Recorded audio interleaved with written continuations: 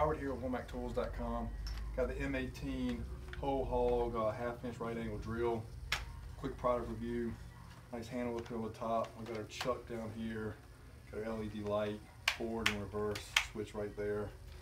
Got our M18 battery. Throw that on here. Go ahead and take our bit here. Tighten this in. Go.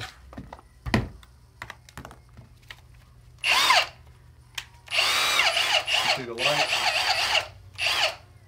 So we'll come over here. Know this sitting uh, a stub, it's the closest thing we got. We'll pop through this thing real quick.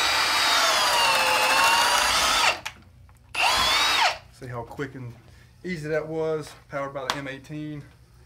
M18 Hole Hawg. Go check it out. WomackTools.com.